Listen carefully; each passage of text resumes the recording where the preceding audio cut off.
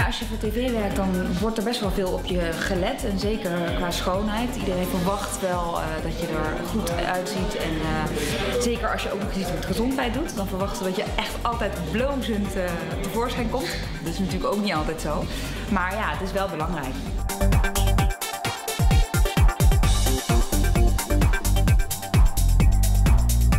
Ja, ik heb een onwijs op YouTube gehad. Want ik had een keer een pony laten knippen. Maar dat past helemaal niet bij de vorm van mijn hoofd. Het was echt verschrikkelijk. Het leek wel echt een, een ei. En, uh, maar ik vind het altijd zo leuk. Als ik iemand met een pony zie, denk ik, oh, dat wil ik ook. Mijn beauty tip is uh, heel veel slapen, weinig stress en heel veel groente eten. Maar echt heel veel groente eten. Juice, uh, in de avond veel groente. En dan zul je echt zien dat je huid opknapt.